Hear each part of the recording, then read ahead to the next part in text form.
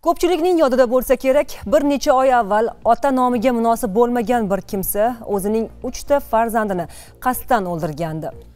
Murg'ak bolalarning jasadlarida 17 ta pichoq izi aniqlangan. Mana shuning o'zi ham naqadar shafqatsiz holat kuzatilganini ko'rsatib turibdi. Erkak isroil davlatida ishlayotgan xotini bilan telefon orqali janjallashganidan so'ng turmush o'rtog'idan qasd olish uchun qotillik qilgan. Voyaga yetmagan farzandlarini birma bir o'z qo'li bilan o'ldirgan shaxs 37 yoshda bo'lgan. U avval ham 3 marotaba jinoyat sodir qilganligi aniqlangan. Xo'sh norasidalarning qoni bilan xumordan chiqqan shaxsga qanday jazo berildi? 19 oktyabr soat 11:00 hozirgina Samarqand shahar jinoyat ishlari bo'yicha sudi binosida sarxush holda o'z farzandlarining qotiliga aylangan otaga sud hukmi o'qiladi. Sud tergov 3 bolani tuproqqa qo'ygan ayolning ko'rsatmasini o'qib berish bilan boshlandi. Sud jarayonida ayblanuvchi qora kursida birinchi marotaba o'tirmayotganligi ochiqlandi. Muqaddam 3 marta jinoyat qilgansiz.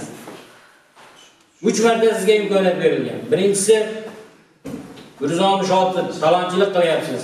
Amnistiya bo'lgansiz. Ikkinchisida avtoavariya qilyapsiz. Yarashuv bo'lyapti. Uchinchisida voyaga yetmagan qiz bilan jinsiy aloqa qilyapsiz. Qonuniy vakilning aytishicha, ota deyilishiga nomunosib bu kimsa farzandlarini qasddan o'ldirgan.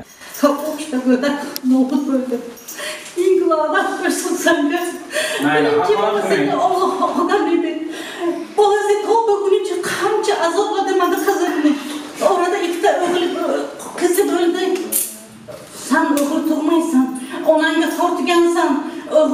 o'g'il deb qancha qizimni azob berdi. O'g'lim berdi Alloh. Nima qildingsan? O'shalarni asrab ololmading. Lekin mani qizim san yo'q bo'lgan paytingga asragan edi.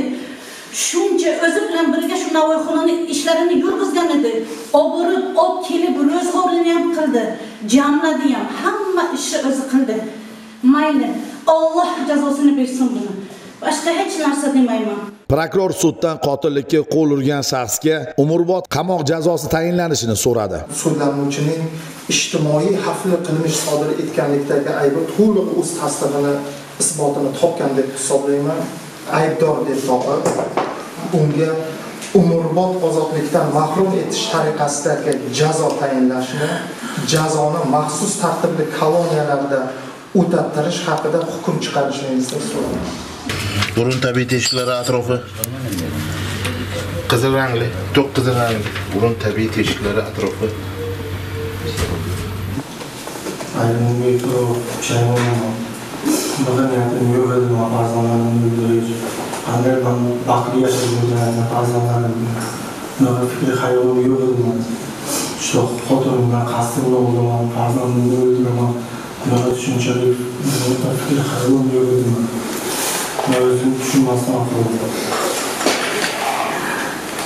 pushaymonman uch norasida farzandning joniga qasd qilgan bu insonga agar uni shunday atash mumkin bo'lsa quyoshli kunlar qora tun bo'lishi kerak. Jinoyat kodeksi to'qson yettinchi moddasi ikkinchi qismi a va j bandlari bilan umrbod ozodlikdan mahrum qilish jazosi tayinlansin tayinlangan jazo maxsus tartibli qonunda o'tatilgan o'z pushti kamaridan bo'lgan farzandlarining murg'ak vujudiga 17 marotabalab pichoq urgan mahkum o'zining otalikdek buyuk ne'matini ham yo'qotganligini anglarmikin?